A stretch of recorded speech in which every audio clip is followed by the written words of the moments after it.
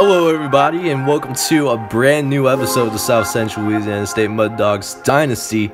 And here we are, uh, tour, conference championship week. I was gonna show you Texas State, the Texas State game, but what happened was my game file for that game actually got corrupted, which was a true shame because even though we didn't win that game, that was senior day for us, and really wanted to honor the seniors of this team with not only win but get the proper recognition that they deserved here on this channel. We did end up losing to Texas State 31 to 20. It was a close game for us with us actually leading at the half but kind of let it go in the second half.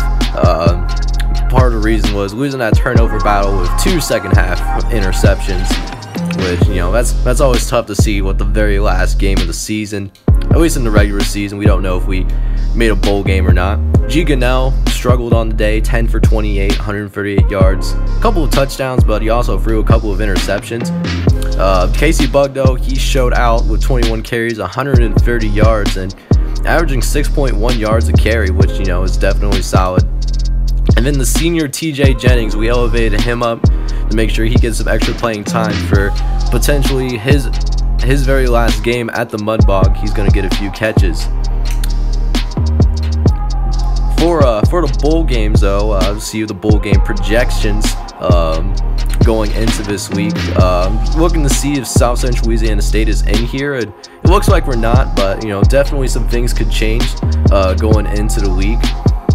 But you know we'll definitely see what happens when we move on to next week. Alright, so Dante Fagan from Ohio State is gonna win the Heisman Trophy, and doing it emphatically too as he had almost 500 first place votes and nearly 2,000 votes total. It looks like we aren't going to be going to a bowl game, so this is going to be the end of the season. But, you know, we'll take a look at some other teams in our conference as well as some notable non-conference teams that we played this season, see what's happened to them. Alright, so what we have here. So looks like for the New Orleans Bowl, Western Kentucky, who are uh, considered the champs in the Sun Belt, they're going to be playing the New Orleans Bowl. Maryland is going to go to the Poinsettia Bowl. Uh, Maryland is a team that, of course, we played for our FBS debut game. We lost to them 45 to 35. See you anything else that's really notable to us. Oh, Barrow USC, that'll be a good game. Let's see what do we have here. Scrolling down. I thought, oh, uh, ECU is going to be playing in the Liberty Bowl against LSU. That'll be an interesting game. Nice season for East Carolina, by the way. They uh, they blew us out of the water when we visited their stadium about midway through the season, but it was their blowout that really got our team going again. And then towards the end, you know, we'll have UL Lafayette in the GoDaddy.com Bowl our Bourbon Bowl rivals, who we did beat. You know, they get to go to a bowl game, but we don't. Then Ohio State and Alabama national championship do have eight uh, all conference players, and then Henry Klein, the uh, the head ball coach. You know, nothing too crazy. Six and six the first season, not too bad. Also get to keep our offensive coordinator as Maurice Mason actually signs an extension with us for five seasons. Maurice Mason in top third for points per game. Really a big reason why we got that. As for our graduating seniors, always the saddest part of this of any college football series, you know, seeing some guys that a pivotal part of our football team leave. Rashawn Henderson was a heck of a tackle for us and also had some surprisingly soft hands as well. Rashawn Hardy also, you know, with some nice punts. Terry was that blindside tackle. Scott Miles uh, was a premier receiver for us. Was kind of a four spacer, uh, if you can say. 33 receptions for three touchdowns, over 500 yards. Definitely had some speed to burn. John Nixon, uh, third string quarterback of this team, wanted to get him in the game, but you know simply did not work out that way uh, for for the senior day. Really tried to get him in there, and uh, you know, we almost did. Uh, if we had a few more seconds, we would have had a handoff. TJ Jennings uh, with four catches, with three of them coming in the final game of the season. So it was nice that we were able to utilize him a little bit more before he graduated. You know, since you know he put in this work and uh, overseeing transition of this team into the FBS. First transfer I want to talk about is Shad Gifford, who you can see in the background just laying it down on the halfback.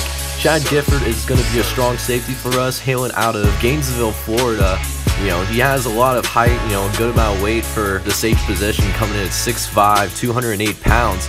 Was at Mississippi State his freshman year and was contributor for that squad, but at the end of the day, he did get a little homesick and, you know, wanted to go to a program uh, when he was figuring about where he wanted to transfer to that is trying to build something instead of trying to maintain a tradition and saw that South Central Louisiana State is gonna just completed their first full season in the FBS. So we're real excited to be able to get him. He uh, did not uh, get the hardship waiver that that we wanted, so he is gonna have to sit out for a season. But we're still extremely excited to be able to bring him onto our football team because he's to make our defense so much better on the back end. Another major transfer that I want to talk about is Tyree Pickens. Pickens is a cornerback that hails from Carol City, Florida, uh, one of those really tough communities where either you make it out big or you stay stuck in that community. But you know, this this kid has a lot of talent. His uh, freshman year was he uh, was at Michigan State, where he fielded uh, kick returns as well as punt returns, as well as was a really solid dime corner for this team. So Kid definitely has a lot of talent, but he does come with a little bit of baggage as he um, he did get dismissed from the team uh, about halfway through his freshman season, so really had to spend a year at the JUCO in order to prove that he has the maturity to handle Division One college football. Then when he got to his JUCO stop uh, near his hometown, actually, he definitely showed out, showed that he can play not only the cornerback position, but also is able to play on the offensive end when called upon. Is a nice two, uh, not two side, but like multiple sides of the ball kind of athlete. Has some really soft hands, which really helps him on the defensive end to make some really nice interceptions. Like I said, the kid has a lot of talent since uh, he's coming in from the JUCO ranks, we get to see him next season, and he's going to be our best quarterback right away. And I'm really excited to have him because this kid has a lot of instincts, plays with a lot of heart, and he's going to give our defense a lot of emotion. I'm playing alongside Bobby Boucher as well as Bruce Terrell. Real, real excited to have this kid. If you if you like uh, Road to Glory series, uh, definitely check out both of these channels, or not both of these channels, but both of these Road to Glory series down in the description. Want to give a shout out for Cr8ght's Games for allowing me to bring in two of these wonderful young athletes onto the South Central Louisiana State football team. I definitely encourage you guys to check it out in the description below. Moving on to the recruiting aspects of the first offseason for the South Central Louisiana State Mud Dogs do have a few guys that I want to go after. Thanks to the few transfers, we are down to, I believe, seven scholarships.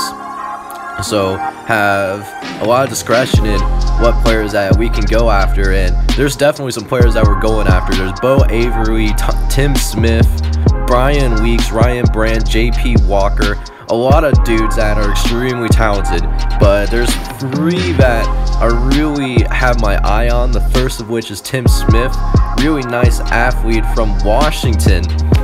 Really think he'll be a good fit for a football program, so thinking we might put some points in him.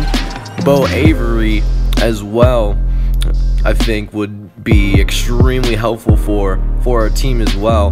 But I'm gonna try to figure out how I want to break these points down. So I'll come back to you guys when I have all my points distributed. Alright, so there's a few athletes that I wanted to go after. Tim Smith, Bo Avery, and Brian Weeks are the big three that I really wanted. And then there's another athlete that I wanted to go for, and Martin Quinn. Just having those athletes on the roster would definitely help us out going forward. Hopefully, when signing day comes around, we get all four of the players I really want as well as maybe a couple other of uh, complement pieces. Alright, so here we are at signing day and we do get Tim Smith, but Bo Avery and Brian Weeks are going to go to University of Miami in Ohio, and then Jacquez Jones, I don't know where Jacquez Jones is heading up. Maybe we didn't put enough points in him or or something, but he's not going to be coming with us as well. So Tim Smith is the only person that we're going to get. However, we do get the top recruiting class in the Sun Belt, which is definitely a really nice sign going forward. We'll definitely have to check out how uh, signing day went down. Alright, so here we are at signing day, and Jacquez Jones, who we put points into, did not go anywhere, but Bo Avery went to Miami of Ohio, and we lost him big. Martin Quinn, if we uh, put any points into Martin Quinn, we would have gotten him, but we didn't, and Ohio State is going to snatch him up from us. Uh, Greg Monroe and Adam Flores are going to go to different places. Brian Weeks, we only lost uh, by a thousand points to Brian Weeks. Randy Cruz, uh, another defensive lineman, is going to come with us, and we do get Tim Smith as well. Really hurts that we lost uh, Bo Avery, is that's a dude that could definitely help us out. But looking up and down this recruiting list, really, really happy about the recruiting class that we brought in overall. Really solid squad, and we'll see how it stacks up to the rest of the country. So here we are with uh, the top classes for this season, and we are coming in with the 58th ranked recruiting class. I think, you know, they may not be high caliber players, at least most of them, with the exception of Tim Smith, but I think this is a team recruiting class that's going to be a lot better than 58 when looking back three to four years from now and I'm just trying to see where the other recruiting classes from the Sun Belt are, and just scrolling down, and I didn't believe my my uh, my eyes. I had to scroll all the way down to 82 to find a number another Sun Belt team, and you know that was from UL Monroe. So since I and you can see it right now on screen, I didn't believe it, so I scrolled all the way back up you know, to find, uh, you know, your South Central Louisiana State team. And then I scrolled all the way down a little bit more carefully to make sure that, you know, I saw everything care uh, right. And sure enough, you know, UL Monroe. All right, so here we are at uh, position changes.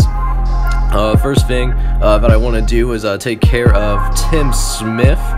Tim Smith uh, seems like a offensive weapon for us, uh, although he could play defense if we absolutely had to, but we prefer him not to. I think we're going to put him at wide receiver, though, uh, since we already have a nice running back in Casey Buggs. So Tim Smith's going to be our number one receiver, and Ryan Wilson might be our number two wideout, depending on how the training results go for the upperclassmen that are on this football team. Would be a nice little duo to have either way, and I think we'll have an improved receiving corps from what we had from the previous season. Stan Castillo, of course, uh, he's going to be coming in as our assumed starter. About G. Gunnell, depending on how he progresses, might force a, a quarterback battle in spring camp, as well, as well as a few other quarterbacks that we have on this roster behind Gunnell. Uh, definitely not the best uh, quarterback room. Another thing that I want to do Bobby Boucher, think we're going to move him over to the middle linebacker spot. I thought we didn't utilize him enough in certain packages. So we're going to move him to the middle linebacker. Then we're going to move Lyle, who was a solid player, by the way. We're going to move him to the right outside linebacker position. That way we should be able to see Bobby Boucher on the field more often. And then figure out what else I want to do here. See, uh, we have we'll have a true freshman starting, but I think I'm to move I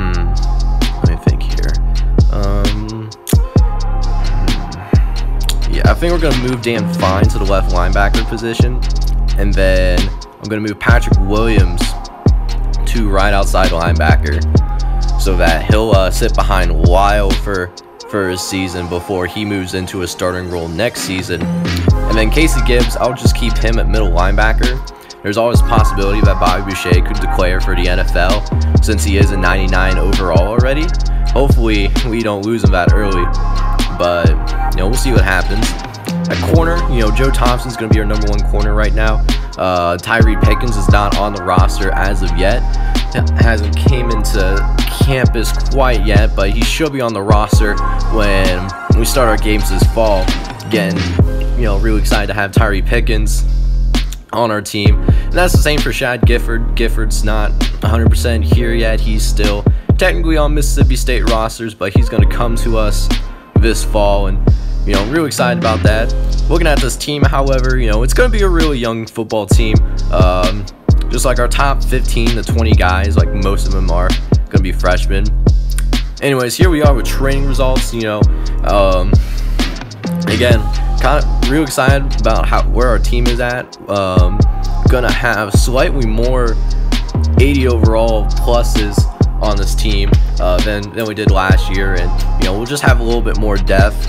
You know last year we had you know an overall 60 with a 60 rated offense and a 65 rated defense. And we should have a pretty nice jump this season although I would have liked to see a little bit more improvement overall as a squad especially with our, our starting players. Definitely need to bring in some guys that have a little bit more effort and take care of themselves a little bit better in the in the off season. But you know, decent training results overall. As G Nell, who was our starting quarterback last season, he um he worked on his speed a little bit, so he does have decent speed. Not as fast as uh, Luis Castillo, who will probably be our starter coming into the season. But, you know, we'll see what happens. Casey Buggs and Brad Muse are going to be coming back in the backfield, of course. And Darren Joyce jumps up to 71 overall, so not quite as high as Ryan Wilson. But Joyce will be a solid third receiver for us. Made some big plays for us in the in the last season, especially down the stretch. Offensive line is particularly young as well. Um, did bring a lot of linemen, but you know, we, you know, it's still something that we need to work on. Do have a couple of solid guys, and then we have a few linemen that should probably round up the the interior, but you know, it'll, it'll still be a work in progress. But I think next season, we'll, I'm really excited to see what we can do. You can see the rest of the roster, and you know, still got to work on the depth as as a team. Still not a lot of talent, but it, we're a little bit better on paper than what we were coming into this previous season, and we were able to finish six and six. So maybe this this season, you know, definitely going to be going for a bowl game. Don't know which bowl game, but it's going to be a bowl game nonetheless. Then finally, before we go into uh, looking at the schedule, gonna have to cut a few fellows since we have too many people on the roster. Gonna cut Anthony McLeod, and I think I'm gonna cut Ben Espinoza, who's actually the older brother of John Espinoza, he's to get cut. And then finally, Desmond Browning, I think, is to be cut as well. But this is going to be the full 70 man roster for the upcoming season. It's going to be a young team. A lot of freshmen are going to be stepping in to starting roles right away, but I'm confident that they'll be able to do just fine in their in their first season of FBS college football. Speaking of, of FBS football, here's the upcoming schedule for this season, and look at who we have at Week 5. We're going to have an early season matchup against Western Kentucky, who did end up winning the Sun Belt this past season, and we were competitive for them for about three quarters before the wheels fell off, so definitely going to have a nice opportunity to get a crack against them once again, this time at our home stadium. Also really like the non-conference schedule that, that we have assembled with two ranked matchups towards the end of the season. One thing I am going to do is I'm going to move this week 2 matchup against Toledo and I'm going to move it up to week 1 so that way we can get that early early season test against uh, an out-of-conference opponent from the MAC. Toledo, of course, is a solid football team. And then, you know, we'll have a few home games in a row against Georgia State, Troy, West Kentucky, and then we'll have a long road stint uh, going on the road against uh, Lafayette for the Bourbon Bowl, Arkansas State, Texas State, UL Monroe. And then our last home, actually, we have two more home games, you know, South Alabama and Old Dominion. Dominion, I mean, Old Dominion will be our senior day. And then we'll have two road games in between those last two home games against, you know, Miami, Florida, and Texas A&M. So real excited about the schedule. You know, got a nice sprinkle of games that we can get, that we can win, and as well as a couple games that will challenge us. Anyways, that is all I have for today. If you want to see your very own recruits uh, that I'm going to try to go after, um, you know, the build recruit template is in the description. Feel free to fill that out. Until then, thank you guys so much for taking time out of your day to watch this video. Uh, make sure to leave a like as well subscribe to the channel if you really like my content. Until then, I will see you guys next time. Thanks.